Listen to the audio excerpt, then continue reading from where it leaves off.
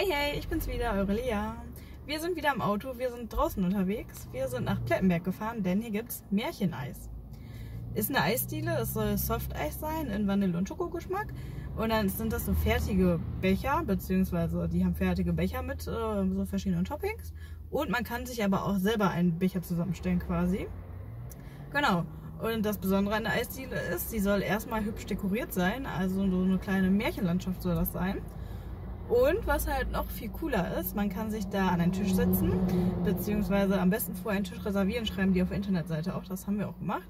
Und dann kann man an dem Tisch, passend zu seinem Eis, was man sich eventuell dann wirklich aus deren Auswahl ausgesucht hat, passend zu diesem Eis ein Hörbuch anhören. Oder man kann das Ganze auch als Brief vormachen und dann kriegt man halt einen kleinen Brief, wo dann ein Märchen passend zu seinem Eis steht. Finde ich voll cool. Mal sehen, wie das wird. Also würde ich sagen, wir testen das Ganze mal und schauen, wo in der Stadt jetzt hier diese Märcheneisdiele ist. Also, los geht's.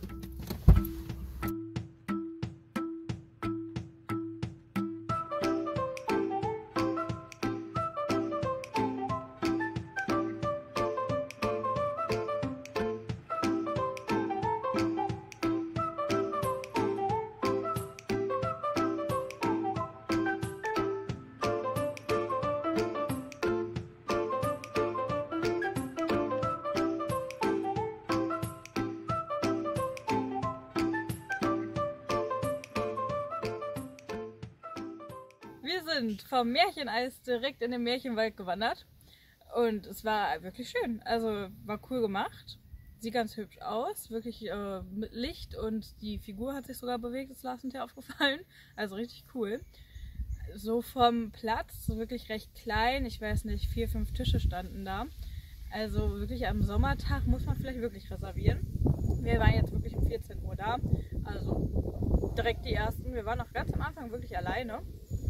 Und äh, ja, war schön. War es so, dass ähm, Kopfhörer an jedem Tisch hangen. Ich meine sogar überall nur einer, aber wir haben gesehen, wir hätten auch noch einen zweiten damit einstöpseln können. Was so ein kleiner Fail war, das hat irgendwie erst nicht so ganz funktioniert. War immer so ein bisschen traurig, so, hä, hier geht gar nicht. Und wir haben halt die Kopfhörer aufgesetzt und der kam nichts, war einfach aus. Ein bisschen rumgedrückt und so, war aber auch nichts. Und irgendwann haben wir es dann nochmal getestet, dann kam da auch eine Geschichte gefühlt war die dann aber irgendwie mittendrin. Ich weiß nicht, ob das am Anfang noch nicht, weil halt wirklich vom, wir waren um 14 Uhr da, die haben halt gerade eben erst aufgemacht. Ob sie einfach nicht so schnell waren, keine Ahnung. Aber das ging hinterher und war auch ganz nett. Also ich habe mir die Geschichte zum Teil angehört, das war ganz nett. Ein bisschen traurig, die Oma ist gestorben und aber ich glaube, für Kinder ist das echt cool gemacht. Also wenn man da dann sich so in diese Höhle besetzt, die da gebaut wurde, ist schon echt geil, glaube ich im Hintergrund dann Vögelgezwitscher und Musik. War schon sehr schön, ja. Vom Preis, ich weiß nicht. Also das billigste vom Eisbecher, was ich gesehen habe, war 4,30 Euro, meine ich. Konnte man dann variieren in quasi halb voll und ganz voll, also mittel und groß würde ich sagen. Und das teuerste war, meine ich, irgendwie 6 Euro, 6,80 Euro oder so. Irgendwie so. Genau, und dann halt konnte man sich auch noch das eigenen kreieren. Da war es dann halt das Eis an sich ein bisschen billiger und dann zahlt man pro Topping halt drauf. Aber unser Eis, wie gesagt, war sehr lecker. Ich hatte so einen Bananenbecher, Schokoladen-Bananenbecher, Schokoladen- und Vanilleeis. Gefühlt Schokoladeneis ein bisschen mehr, finde ich sehr gut, weil ich mag Schokoladeneis mehr. Ja, und was halt dann auch noch cool war, ich hatte so ein bisschen oben, man hat so ein paar Bananen drauf. War ich schon so ein bisschen traurig, wo ich dachte so, hm, naja, dafür dann jetzt doch recht viel Geld bezahlen. Wir waren Schokosoße und Schokoraspeln. Aber unten war dann auch noch immer jeweils von dem, was man so als Topping quasi hatte, mit drin. Das war dann wieder echt cool. Ja, das war also das Märcheneis. Und zum Schluss hat sie dann noch gefragt, ob wir unser Märchen auch mitnehmen wollen. Also haben wir beide noch hier so ein Märchen gekriegt. Finde ich richtig süß. Wie so ein kleiner Brief gefaltet. Ich habe die Nummer 5. Schloss Fabelstein, Prinzessin Aurelia und der Stern. Habe ich schon gelesen. Ist irgendwie eine etwas traurige Geschichte, finde ich. Also sie hat nicht so wirklich ein Happy End. Aber auch das finde ich mega cool gemacht. Da hat man was, was man mitnehmen kann. Hier schön zusammengefaltet. Seine kleine eigene Geschichte. Also so finde ich es echt nett.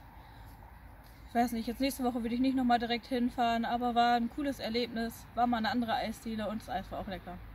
Mir hat es gefallen. Dem Herr hinter der Kamera ja. Das war das Märcheneis. Ich weiß nicht, wart ihr schon mal am Plettenberg in der Märcheneisdiele?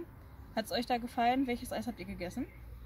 Schreibt gerne mal in die Kommentare. Und sonst Video liken, abonnieren nicht vergessen und nächste Woche wieder einschalten. Wir sehen uns dann. Tschüss. Jetzt gehen wir noch ein bisschen im Märchenwald spazieren.